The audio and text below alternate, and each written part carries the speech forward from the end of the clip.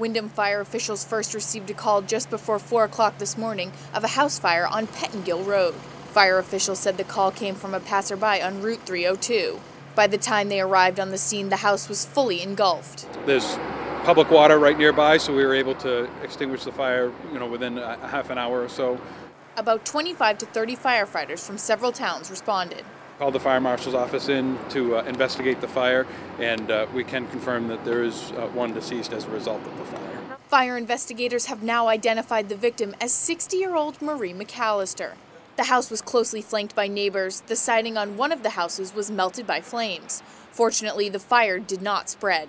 All that's left of the house is the back wall and a pile of charred remains. And the fire marshal's office right now is just beginning their investigation into what caused the fire. Firefighters cleared the scene and Route 302 was reopened around 10:30 this morning. Erin Dixon, WMTW News 8.